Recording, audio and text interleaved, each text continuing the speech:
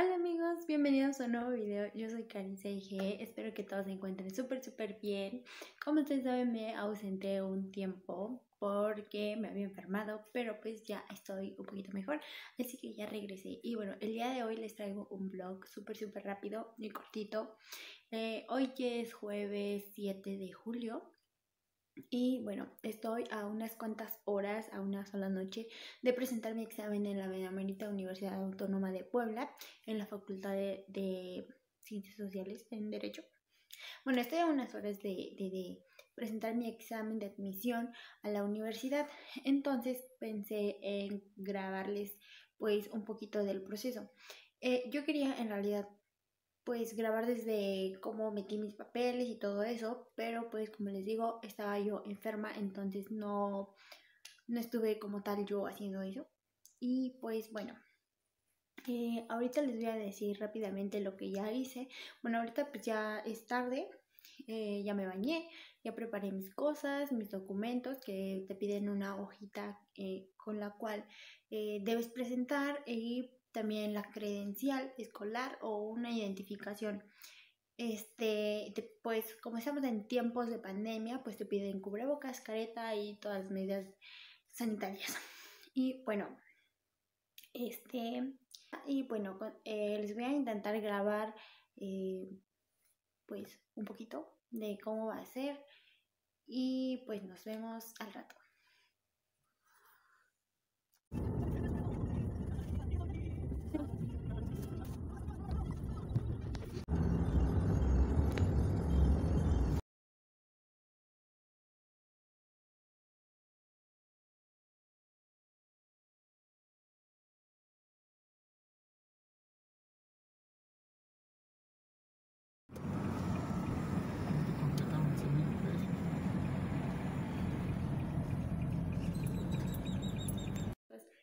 Eh, les cuento mi experiencia en el examen de admisión en la Puebla. Bueno, llegamos, eh, eran a las 9, pero nos atoramos en el tráfico, estuvimos como media hora atorados, pero pues les digo, no hubo problema porque llegamos muy temprano, yo ya tenía planeado llegar a la fila a las 10, pero en realidad llegué como a 9 y 20, eh, después de que nos Después de que estuvimos saturados en el tráfico, llegué 9.20 ahí a donde tenía que estar, porque nos habíamos equivocado y nos fuimos como que del otro lado de, o sea, por otra entrada en donde no era. Entonces ya el portero nos explicó por dónde, pues ya llegamos.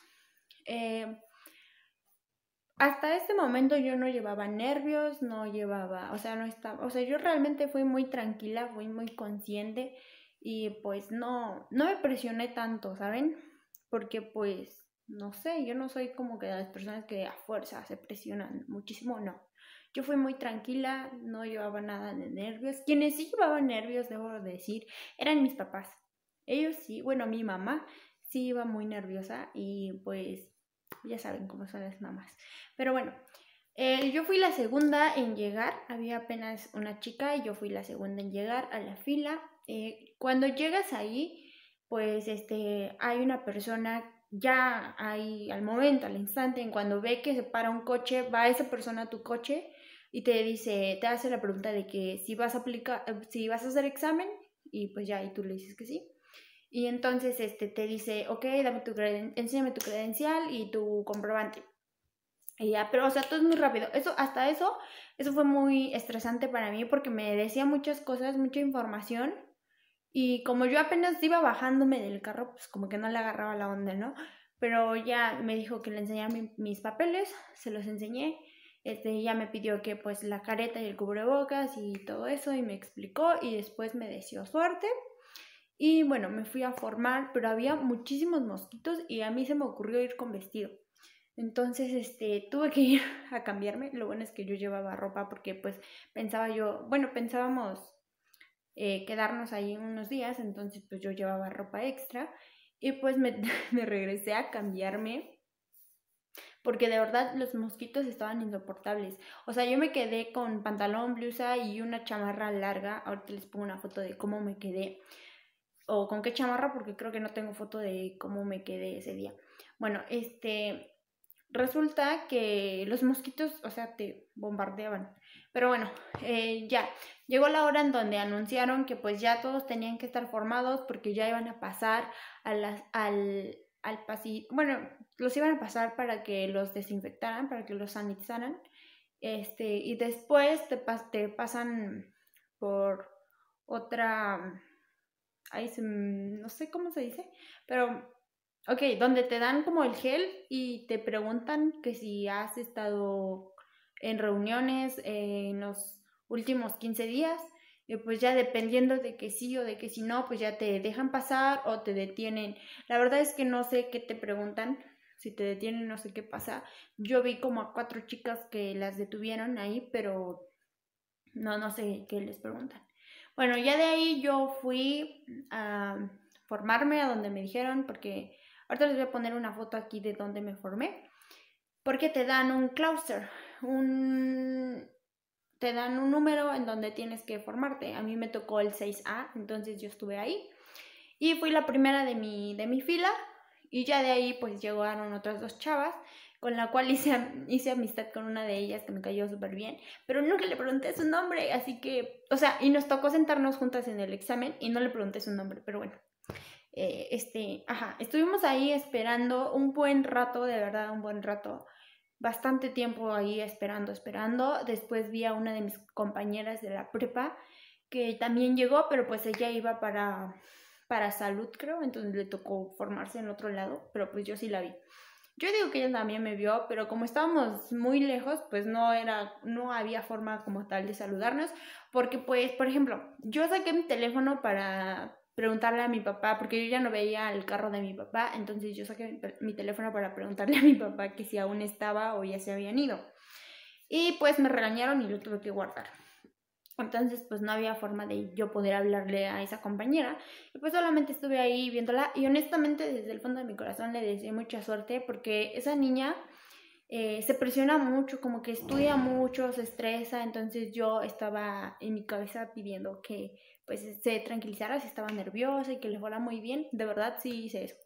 Y bueno, ya después de esperar mucho, mucho, llegó la hora de que nos pasaran a las aulas. Ah, pero antes vi cómo salieron los que les tocó a las 7 de la mañana y eran muchísimos, muchísimos, muchísimos. Literal parecía, no sé si han visto la serie de The Walking Dead, pero así cuando van los zombies por montones, literal así parecían los chavos que iban saliendo y saliendo y saliendo y no le veías fin. Pero bueno, ya después nos pasaron a las aulas. Eh, en las aulas nos explicaron, pues, nos dieron las indicaciones de que, pues, no puedes tener celular, no puedes platicar, no puedes, o sea, todas las reglas.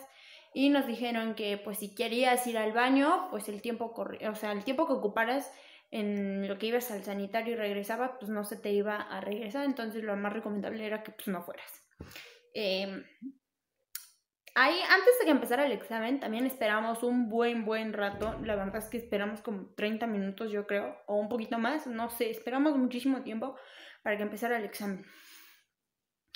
Y bueno, después ya empezó, bueno, casi, antes de empezar, hubo una chica que se sintió mal. Estaba frente a una, una mesa después de la mía, porque nos pusieron mesas y en computadoras. Entonces, eh, en la mesa de adelante este, había una chica, creo que se sintió mal, y pues la tuvieron que sacar y apoyar, pero después regresó.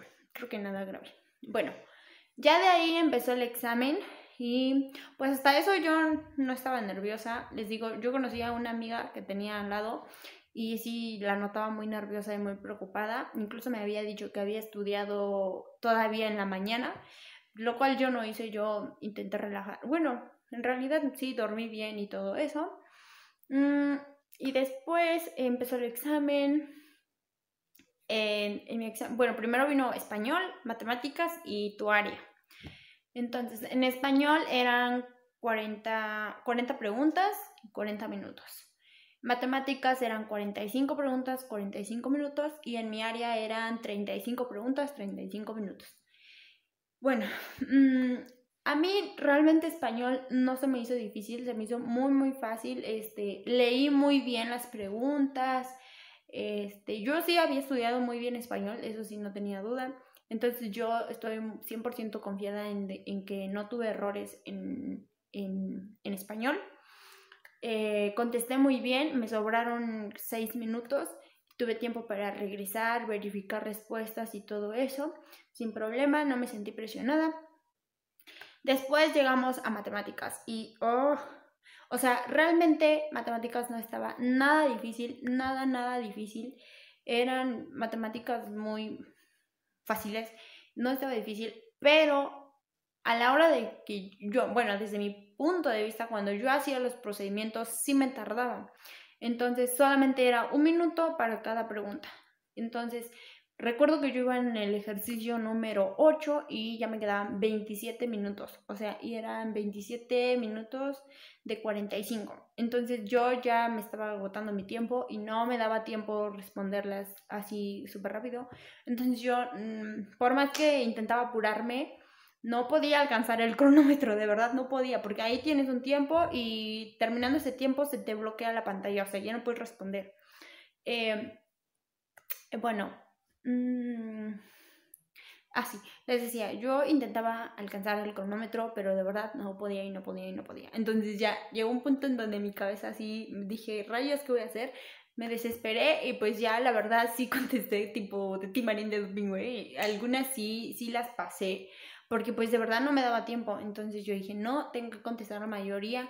Y ya cuando vi, vi que me faltaban como seis minutos, ahí fue donde yo dije, ya tengo que contestar así o las dejo ir o las contesto como sea. Y pues sí, yo siento que ahí sí me afectó muchísimo matemáticas, aunque estaba muy fácil, no alcanzaba yo el tiempo. O sea, las que yo sí me dediqué a responderlas así, procedimiento por procedimiento, estoy segura de que sí estaban bien porque pues haces comprobaciones y todo eso. Pero imagínense, después, o sea, estar haciendo un procedimiento y luego comprobar y luego así, pues, o sea, el tiempo se te iba. Entonces yo por más que intentaba, intentaba apurarme, no podía. Pues ahí sí sentí mucha presión y sí logré contestar todas. O creo que una no contesté.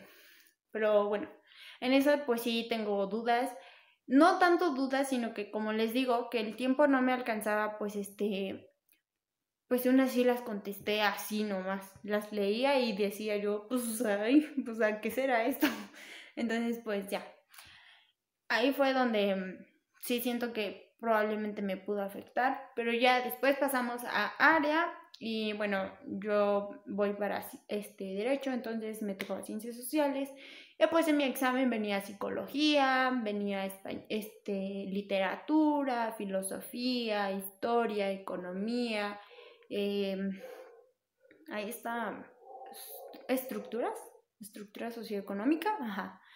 Y bueno, en esas, eh, igual no me sentí nerviosa porque yo había estudiado mucho esas materias también. Eh, y pues de psicología solamente vinieron dos preguntas. Entonces, y estaban muy fáciles, entonces pues, se pudo.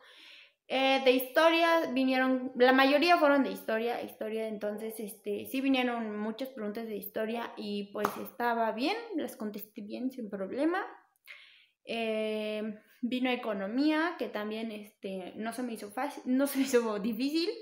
Y eh, venían de filosofía, algunas preguntas también que pues, tampoco se me hizo difícil. Realmente no tuve problema en mi área, iba muy, muy preparada. Eh, y pues yo digo, yo pienso desde mi punto de vista que en área voy a tener o tuve dos malas porque eran dos palabras que realmente yo no conocía, no, no sabía el significado y pues ahí venía como qué significa esto y pues yo realmente no sabía, eran siglas eran siglas porque ni siquiera era palabra, eran unas siglas y que no supe qué significaba, entonces, o sea, nunca, nunca, nunca ah, había visto, eran tres, tres palabras, perdón, tres letras y nunca, o sea, ni por aquí las había visto. Entonces, fueron dos preguntas así y esas son las que no respondí.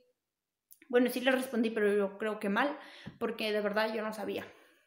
Y bueno, de ahí pues eh, se finalizó el examen te dan tu puntuación y este pues el chico que dirige todo te, dice la fecha de los resultados, por ejemplo en este caso los resultados los dan el 27 de julio, entonces este pues ya eh, terminamos, eh, bueno, para eso ya te, te recogen un, un, pedacito de tu hoja, de tu comprobante, te lo recogen, se lo quedan ellos y pues nada, fue todo. Terminé bien el examen, el examen terminó justamente a las 2 de la tarde y yo me acuerdo que pues nos formaron para volver a salir y salí a la puerta, cuando llegué a la puerta principal eran 2.6, entonces pues sí, fueron puntuales cuando terminó el examen.